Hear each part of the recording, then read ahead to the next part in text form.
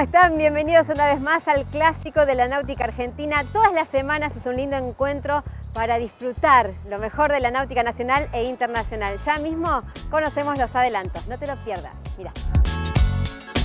Hoy en Paralelo Cero te voy a mostrar una lancha Chris Craft totalmente tuneada.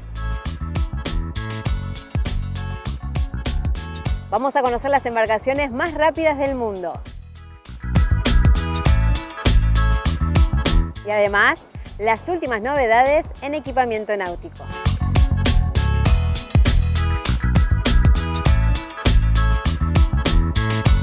La lancha que te vamos a mostrar a continuación es una Chris Craft Lancer 20. Su propietario Jorge se cansó un poco de su imagen, entonces quiso hacerle algunos cambios. Se inspiró en los autos super deportivos Guaira de su amigo Horacio Pagani y así fue como quedó. Mírala.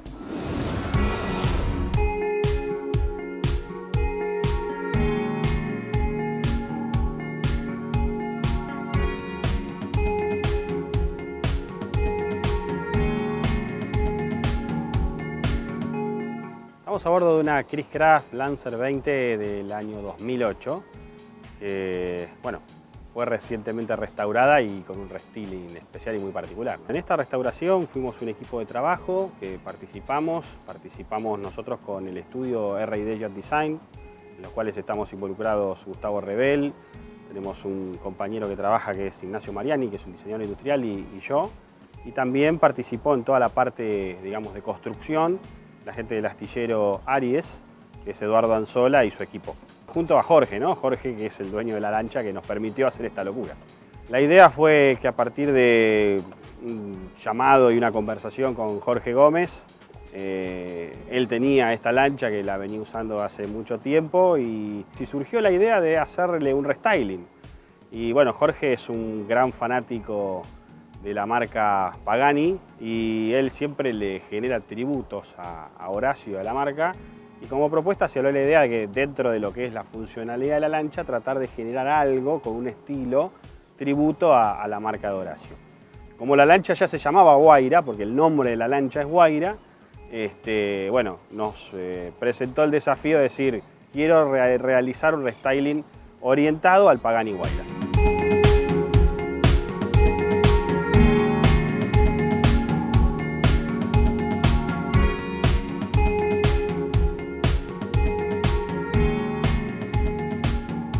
Verdad que fue una experiencia excelente porque una vez que hablamos con Jorge, eh, él nos permitió que nos expresáramos como quisiéramos para poder hacer todo esto en la lancha y hacerla exclusiva. básicamente lo que Jorge quiere es un producto que se identifiquen por lo que a él gusta. Y pudimos lograr hacer este, esta nueva versión de esta Lancer 20, que es una lancha icónica de Chris Craft. Martín se abocó junto con, este, con Nacho a la parte de diseño exterior, tomando todos los, los conceptos que nos gustaban de, de, la parte automotor. Y a mí me tocó, que lo que más me gusta, abocarme un poco a la sala de máquinas. Y por un lado hacer un, una recorrida completa del motor, que fue desde pintura, cambiar bomba de agua, hacer una modificación en los escapes, poner los escapes libres este, con el sistema automático. La sala de máquinas se cubrió íntegramente en aluminio simil inoxidable. Toda la parte eléctrica se la replanteó de otra forma, tuvimos que cambiar los sectores que vienen de fábrica a otros lugares para tener y remover alguna parte y tener el conjunto eléctrico para poder hacer alguna reparación o alguna verificación. Este, también hicimos toda iluminación LED que puede cambiar de color acorde al color que tiene la lancha o lo que uno quiera poner. Y bueno, y las salidas del escape que tenemos una en cada banda con eh, la particularidad de tener eh, los cuatro circulitos en inoxidable como tiene el Guaira que le da un toque y una personalidad exclusiva.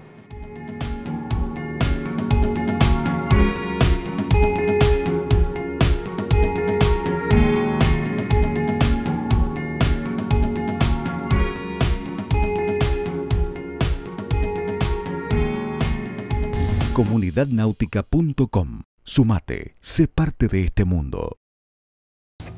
Comunidad Náutica es el portal de noticias náuticas más visto de la República Argentina. 43.000 personas es el promedio de visitas por mes, así que vos no te lo podés perder, porque te ofrece muchísimas cosas para estar al tanto de todo lo que sucede en la náutica nacional e internacional. Podés ingresar todos los días a la hora que vos quieras, así que no te lo pierdas. Ahora primera pausa en nuestro programa y de regreso mucho más náutica mundial. No te vayas, que ya volvemos. No te vayas que tras la pausa conocemos el top 5 de las embarcaciones más veloces del mundo. Ya volvemos.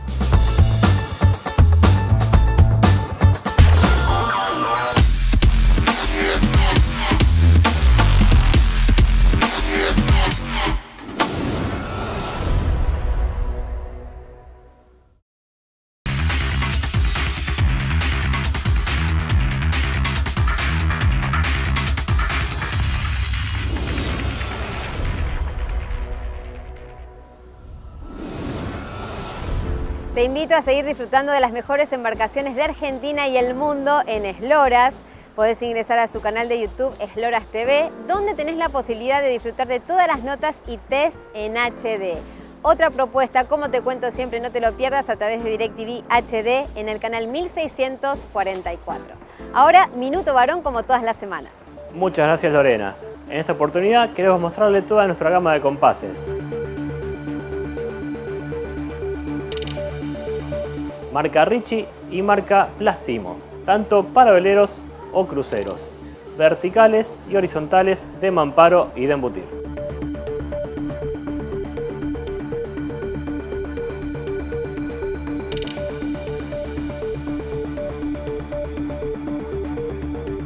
Vengan a conocerlos en nuestras sucursales o en nuestra página www.varon.com.ar son las más rápidas, aerodinámicas, vuelan por encima de la superficie del agua, desarrollan una altísima potencia y hasta verlas generan adrenalina. Estas son las embarcaciones más rápidas del mundo, el top 5 de Paralelo Cero.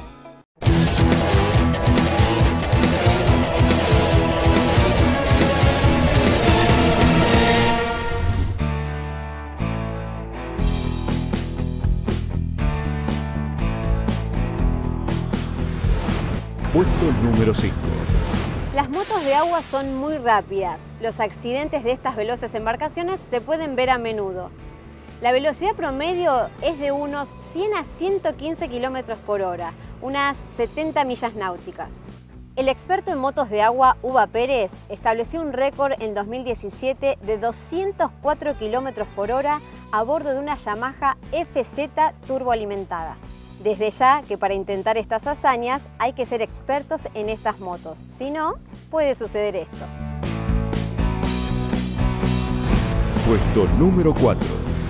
En 2014, el catamarán Mystic Power Boat del equipo Spirit of Qatar alcanzó los impresionantes 392 kilómetros por hora en una competencia de motonáutica en el lago Ozark de Missouri, en Estados Unidos. El piloto fue Sheikh Hassan y su nave estaba impulsada por dos motores de 2.350 HP de potencia cada uno. Desde ya que cuando se exceden tanto con el acelerador, se mojan un poquito. Puesto número 3. Estas veloces lanchas denominadas drag boats realizan competencias de estilo picadas, como conocemos esta actividad en Argentina. La lancha blanca que vemos en imágenes pertenece a Daryl Ehrlich, oriundo de Texas, que en 2014 en un lago de Augusta, en el cuarto de milla, registró una velocidad de 420 kilómetros por hora, unas 261 millas náuticas. El motor de este bólido es un V8 de 7000 HP de potencia. Puesto número 2. Donald Campbell logró sus 7 marcas de velocidad con el K7 entre julio de 1955 y diciembre de 1964 en distintos escenarios. Luego planeó batir de nuevo el récord sobre el agua con el K7. Después de una serie de retrasos, finalmente consiguió su séptimo récord náutico mundial en un lago de Australia en el último día de 1964 con una velocidad de 276 millas por hora, 444 kilómetros por hora. Tratando de superar su propia marca, el 4 de enero de 1976 murió en este terrible accidente. Su cuerpo y el bote fueron recuperados recién en 2001 del fondo del lago. Puesto número 1. El 8 de octubre de 1978, el australiano Ken Warby estableció el récord de velocidad en el agua aún no superado, alcanzando una velocidad máxima de 511 km por hora, más de 317 millas. Warby diseñó el casco de su barco récord Speed of Australia y lo construyó en el patio de su casa. Le instaló un motor a reacción Westinghouse J-24 utilizado para aviones de combate. Warby es hoy un héroe nacional y su Speed of Australia se exhibe en el Museo Marítimo de Sydney.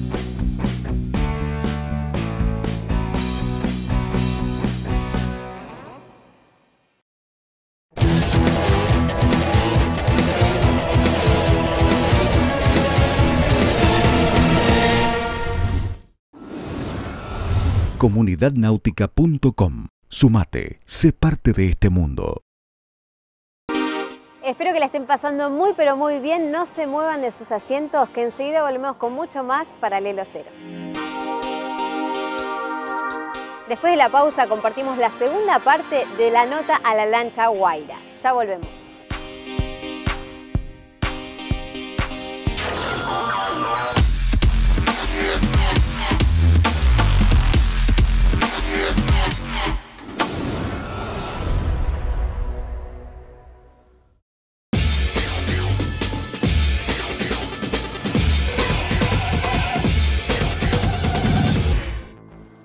Que pueden ver este programa online en directo a través de la página oficial elgarage.com, que no solo te permite ver Paralelo Cero, sino la programación completa de este canal.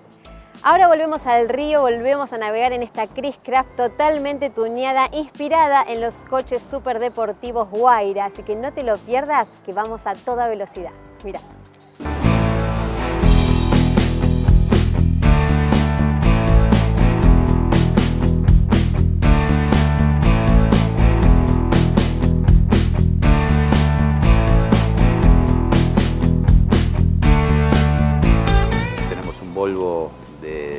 5 litros de 260 HP y tenemos pata Duo Pro. La pata también se la recicló toda y se la pintó a original y con algunos detalles de pintura exclusivos que, solamente lo puede hacer Eduardo Anzola.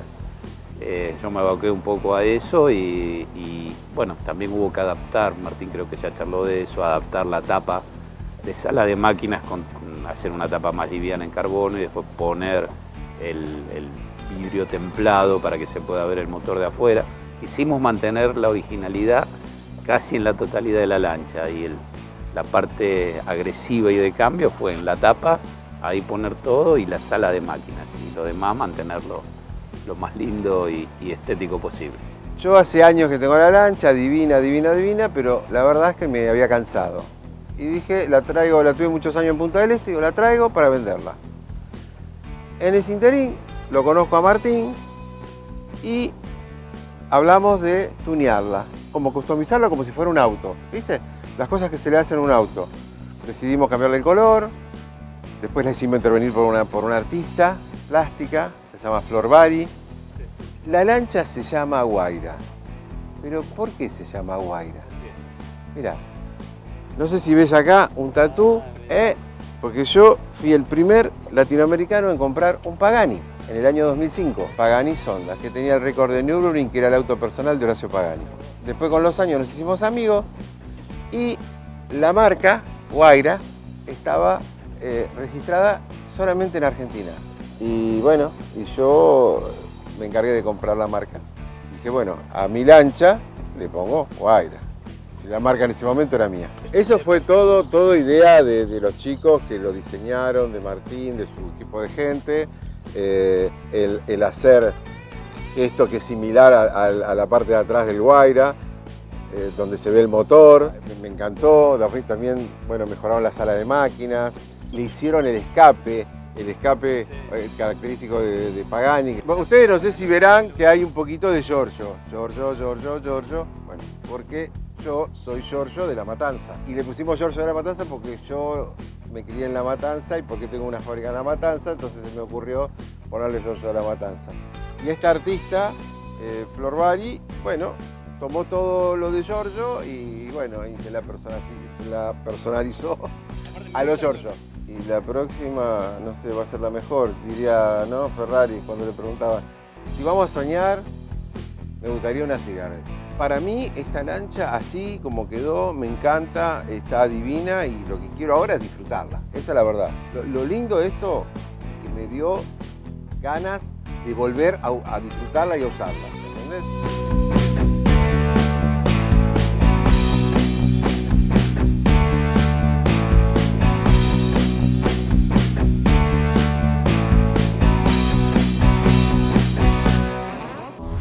Comunidadnáutica.com. Sumate, sé parte de este mundo.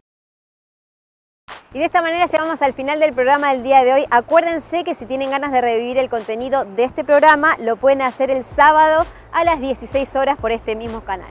Y una vez más, los invito a ingresar a nuestra amplia plataforma de comunicación para disfrutar la mejor náutica del mundo. Beso grande para todos ustedes y los espero la semana que viene, jueves, 21 a 30 horas, por la pantalla del Garage TV. No me fallen porque los voy a estar esperando. Beso grande. Chao.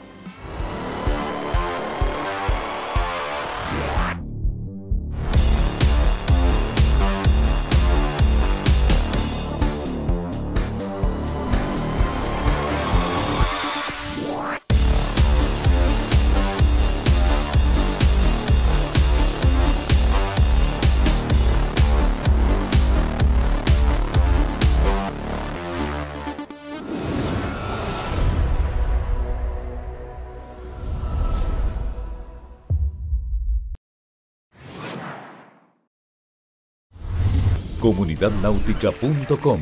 Sumate, sé parte de este mundo.